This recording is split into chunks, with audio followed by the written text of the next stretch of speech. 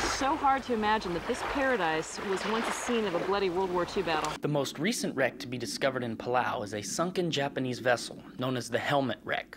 Although its identity is still being researched, it was given its name because of the numerous helmets discovered in its cargo hold.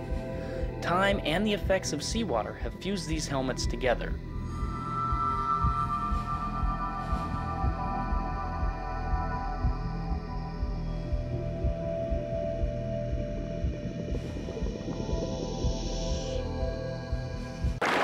came to Rangiroa for one reason, because we're sharkaholics. In blue water diving, there's nothing around you but blue. And let me tell you, even for the most experienced divers, this can become very confusing. When big hungry sharks are thrown into the mix, the scenario becomes even more dangerous. Without the protection of the reef, divers are more vulnerable because the sharks can approach from any direction.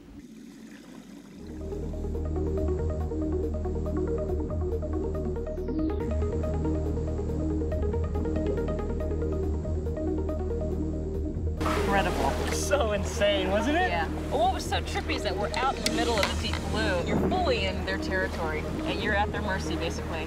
That was a cool dive. We That called was it. Probably one of the best dives I've ever That was awesome. Yeah. That was awesome. No cage, no landmarks, just blue. Just there.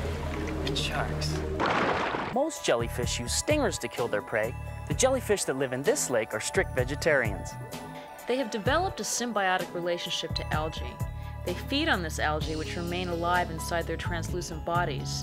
The jellies then float to the surface of the water to allow the algae within them to soak up sunlight and photosynthesize. Photosynthesis is the process by which plants and algae extract energy from sunlight. The jellyfish that live in these lakes are descendants of jellyfish that inhabit the ocean. When the sea level dropped millions of years ago and the marine lakes were formed, these animals from the sea became trapped. But they were able to adapt to their new environment and are testaments to the strength of Mother Nature.